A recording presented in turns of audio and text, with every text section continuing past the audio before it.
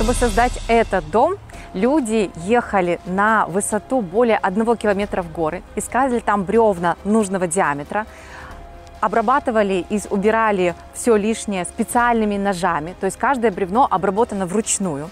А потом специалисты, специально обученные во Франции и в Канаде, делали вот этот сруб. Сама конструкция дома уже защищает дом от любых перепадов температур. Это большой дом, его площадь больше 300 квадратов. Здесь 4 спальни. Здесь большая территория вокруг. И на территории прямо вот прямо на территории находится сосновый лес. Ривьера Виллас – это не просто коттеджный городок.